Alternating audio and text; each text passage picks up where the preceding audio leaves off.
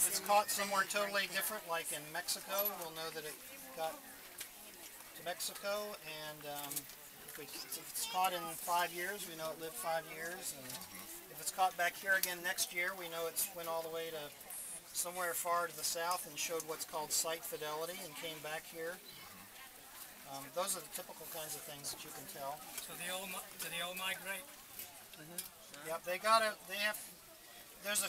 We've had a few rufous hummingbirds spend the winter in Kentucky successfully, but typically it gets too cold, and um, they just can't make it. So that's what migration's all about. They've evolved the ability to do that. Is it true that they migrate on the back of the geese? No, uh, the geese don't go to Mexico. Oh, these are going to Mexico? The geese stick thought they went around to and Yeah, the geese only go south of here. Yeah, I know, they stick That's the fallacy in that story. Yeah. Oh, you ruined my life.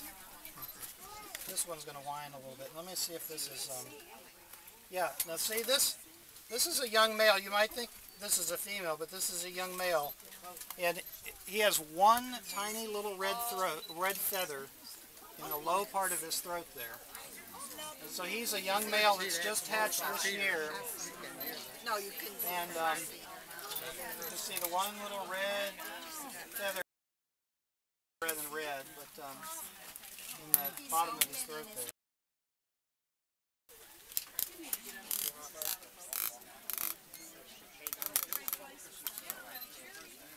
he's, he's very stiff. Yeah, you see the it, this this bird has white rounded, totally unlike the adult male that we were looking at the last bird we did. We may not catch another adult male because usually it's mostly young birds this time of year. Now this is um, the toes out of some pantyhose, which help immobilize the bird. It won't get away from me and it won't hurt itself. Just- It should, being a young bird, chances are very, very slim that it's already got a band on it. But um, just check both legs to make sure. I don't want to put a second band on. And it doesn't. How and where did you learn to do all this? We trained with a man by the name of Bob Sargent, who um, founded this group, the Hummingbird Study Group. There's some brochures over here. And um, he's kind of the dean of uh, uh, hummingbirds in the eastern U.S. He's trained lots of folks to do this. Want to make sure I got the band on properly. Now I'm going to take a few measurements on this bird.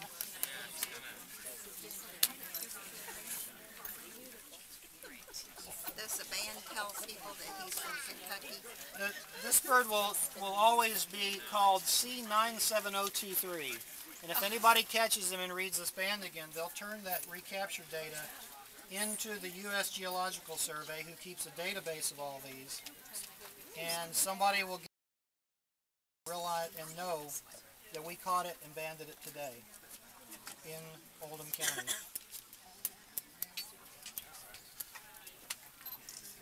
I'm measuring the length of the wing, which is going to be longer than the other birds, we, the, the adult males we did.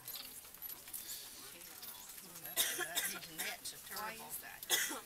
The adult males just have a have shorter wings Shorter Uh, than who? than the uh, adult females and the young birds. Really?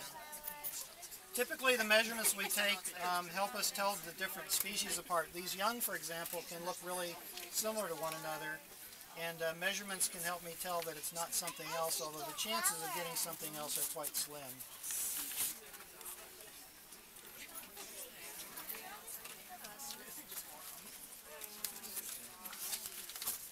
Combination of the length of the wing and the length of the bill are two that are really helpful.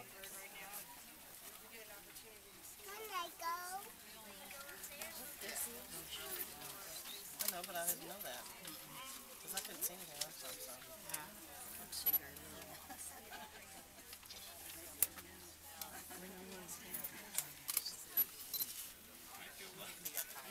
Down there in the pantyhose.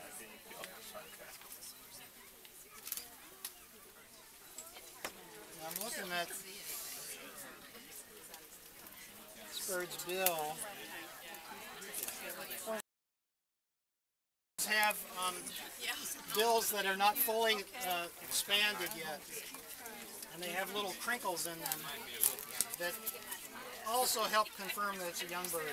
Now, if you could get back from the table here, I need the table to be real still for a second while I weigh this bird.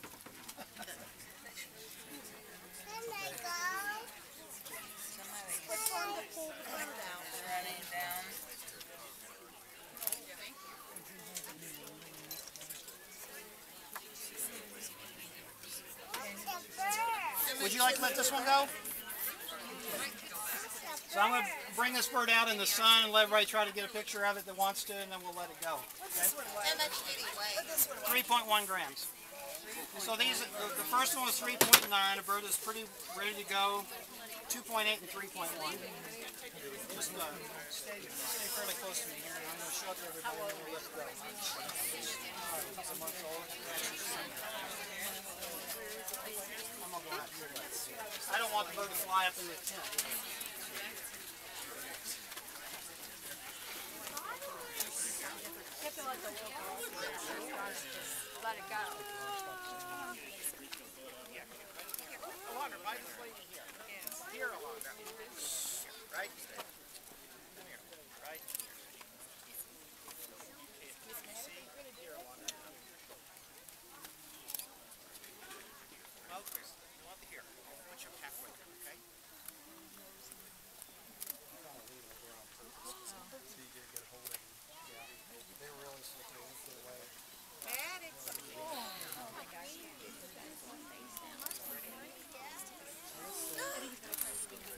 Now, can everybody see that?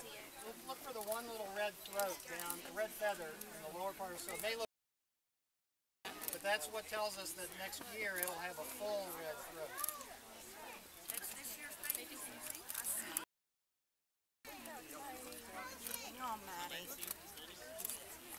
He doesn't mind being held like that. Oh, you can see it turn red as it moves, see? If you get a shot, you might see the bird. I go see the bird. No, let's just start. Awesome, come here.